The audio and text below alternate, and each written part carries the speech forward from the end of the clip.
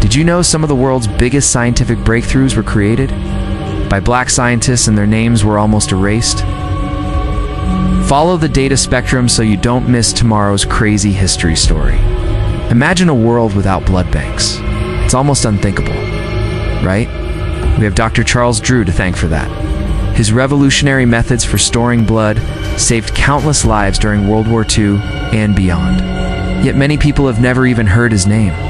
And what about the GPS in your phone that you use every single day?